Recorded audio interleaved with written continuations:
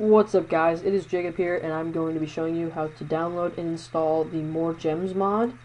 And alright, you want to go, first thing you want to do is go to this link in the Minecraft forums where it has the mod creator, the actual, where you download the mod and everything. So you scroll down all the way past all the pictures and all the crafting recipes and you go right here to download. Click on that and it'll take you to a Mediafire where you click download again and a little file I'll just do it. You click download and this thing will come up and you just hit save file. Hit OK and it'll be in your downloads. Now what you want to do is go back to the Minecraft forum and at the top it says note this requires mod loader. What you want to do is just click out right here on mod loader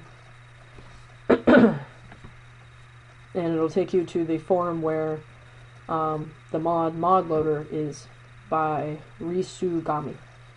Scroll all the way down past the Q&A and go to where it says mod loader 1.2.4. That's for Minecraft 1.2.4.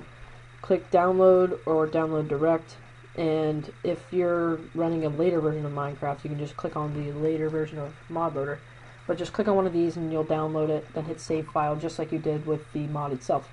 So then after you're done with that, you can X out of these and drag and drop from your downloads onto your desktop. These two files. So you'll have these on your desktop, and then what you want to do is go into Start, click Run, and then type in percent app data percent. Click OK, and it'll take you to your application data, where you have your .minecraft folder. Uh, for Windows 7, I think you go to roaming and then something else to get to .minecraft, but I don't know. Then you'll open up your .minecraft and you can do this this way or if you want it to be faster exit out of this and create a shortcut to .minecraft. If you want to install a couple mods so you don't have to keep doing that. And that's a lot faster a lot uh, just a little helpful tip. So click here and you'll go first into your bin. And I want to make this a little bit smaller. So you go into your bin then right click on the minecraft.jar 7-zip open archive.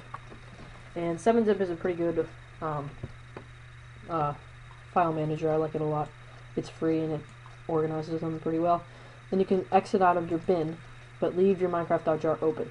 Then what you want to do is you want to right click on mod loader, 7-zip, open archive, just like you did with the Minecraft.jar.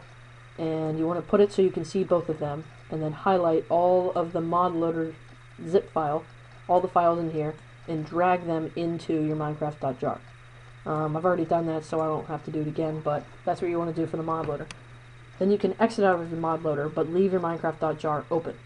Then you want to right-click on the mod itself, More Gems mod, and you go to 7-zip, open archive, and then you want to do the same exact thing. uh, you drag all of these, including readme.txt. Um, I wasn't sure if you did or not, but I checked it, and yes, you actually do, because it's in here already and the mod works perfectly. So drag everything you have, drag it all into there. And then you will have downloaded the mod. You'll have installed it and your Minecraft will run with the mod More Gems mod. Where you can have more gems and more items and more tools and armor and everything. And it really enhances the game. Alright, thank you for watching and make sure you like and subscribe.